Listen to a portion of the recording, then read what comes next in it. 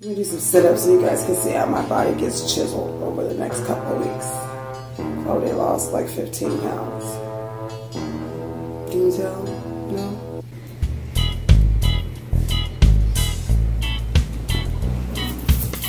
Oh my god, I'm stuck.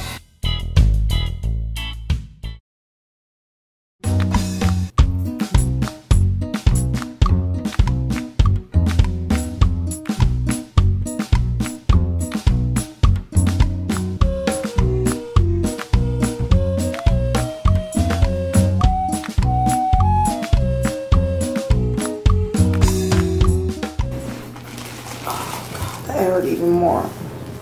Sucks being fat. Shit. The effort that goes into getting yourself back together alone is just.